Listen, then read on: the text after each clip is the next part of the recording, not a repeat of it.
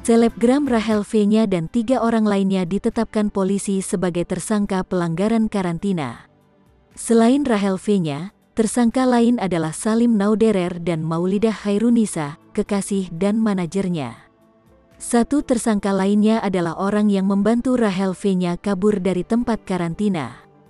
Kepala Bidang Humas Polda Metro Jaya Kombes Yusri Yunus mengatakan, meski telah ditetapkan sebagai tersangka, Rahel V-nya tidak ditahan.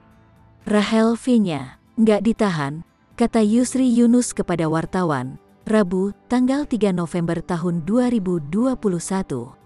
Rahel V-nya, Salim Nauderer dan Maulidah Hairunisa tidak ditahan karena ancaman hukumannya satu tahun penjara. Rencananya, Rahel V-nya Salim Nauderer dan Maulidah Hairunisa akan kembali menjalani pemeriksaan sebagai tersangka di Polda Metro Jaya, Senin esok. Rahel V-nya dan ketiga orang lainnya dijerat pasal 9 ayat 1 UU nomor 6 tahun 2018 tentang kekarantinaan kesehatan.